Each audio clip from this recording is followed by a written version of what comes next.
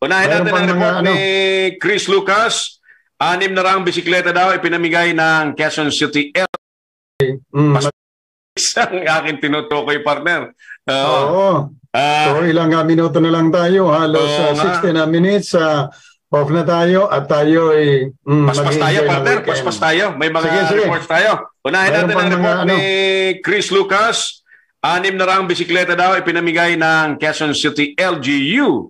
Kasabay ng uh, uh, violence against women na celebration nito la- para labanan daw ang vow eh, sinusulong ng LGU. Alright, sige. Report. Chris Lucas, go ahead.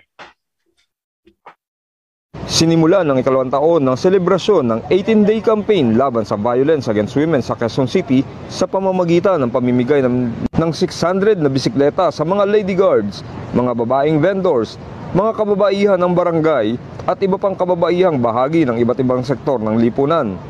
Ang kampanya ay tatagal mula ngayon, Nobyembre 25 hanggang sa Disyembre 12.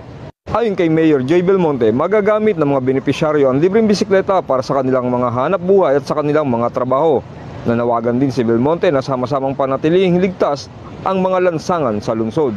Kadalasan kayo ay nab- nabababad o di kaya ay nahihirapan pang mag-commute pa uwi.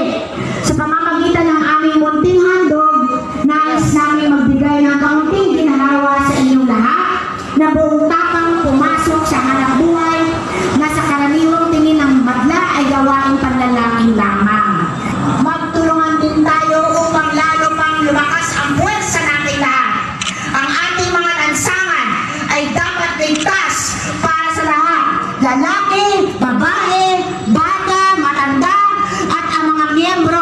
LGBTQIA community.